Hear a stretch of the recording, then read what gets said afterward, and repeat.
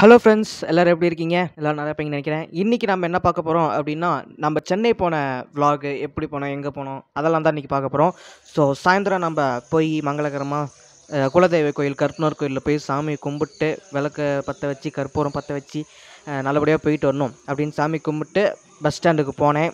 ஆனால் பஸ் ஸ்டாண்டுக்கு போனால் பஸ்ஸு வந்து பத்து ஐம்பதுக்கு வர வேண்டிய பஸ்ஸு பதினொன்னே காலுக்கு தான் வந்தது. லேட் ஆகிடுச்சு ஏன்னு கேட்டால் எனக்கு சரியான ரீசன் வரல. சரின்ட்டு பஸ்ஸு வந்த வாட்டி பஸ்ஸு ஏறினேன். பஸ் ஏறினோடனே உள்ளார இன்டீரியர்லாம் வந்து சூப்பராக கொடுத்துருந்தாங்க. கோல்டன் கலரில் லைட் தீம் கொடுத்து கீழே க்ரீன் கார்பெட் மாதிரி போட்டு சூப்பராக இருந்துச்சு பார்க்குறதுக்கே செமையாக இருந்தது. அப்புறம் வந்து பெட்டு வந்து சொ பார்த்தோம்னா எனக்கு லென்த்து வந்து கொஞ்சம் படுத்து பத்தலை. நான் இப்போ உட்காந்துருந்தனால எனக்கு உங்களுக்கு பார்த்தா கரெக்டாக இருக்க மாதிரி தெரியும். ஆனால் படுத்தா எனக்கு கால் கொஞ்சம் குறுக்கி வச்சு படுக்கிற மாதிரி தான் இருந்தது. அவ்வளோவா கம்ஃபர்ட்டாக இல்லை. முன்னாடி காலுக்கிட்ட ஒரு ஏசி வந்துட்டு பின்னாடி தலைக்கிட்டு வந்து பார்த்தோம்னா reading light charging plug phone வைக்கிறதுக்கு ஒரு ஸ்டாண்டு தலைக்கு மேலே ஒரு ஏசி கொடுத்துருந்தாங்க.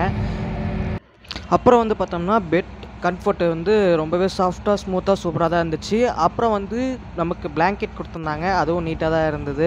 நல்லா சாஃப்டாக போத்துனா அப்படியே கப்புன்னு போத்திடுறது.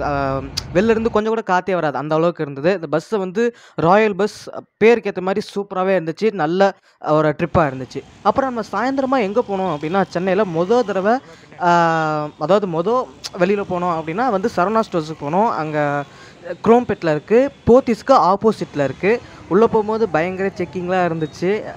செக்கிங்லாம் முடிச்சுட்டு உள்ளே போனோம். அக்கா வந்து எங்கள் மாமாவுக்கு ஒரு சைக்கிள் பார்க்கணும் அப்படின்னாங்க. அதை பார்த்துட்டு இருந்தாங்க. எல்லா சைக்கிளுமே பார்க்கறதுக்கு சூப்பராக இருந்துச்சு. சேல்ஸ்மென்ஸ்லாம் வந்து நல்லா எக்ஸ்பிளைன் பண்ணாங்க. பட்டு ரேட்டு நமக்கு பட்ஜெட்டுக்கு ஏற்ற மாதிரி இல்லை. கொஞ்சம் ஓவராக இருந்தனால நாங்கள் வந்து வெளியில் வாங்கலாம் அப்படின்ட்டு விட்டாச்சு.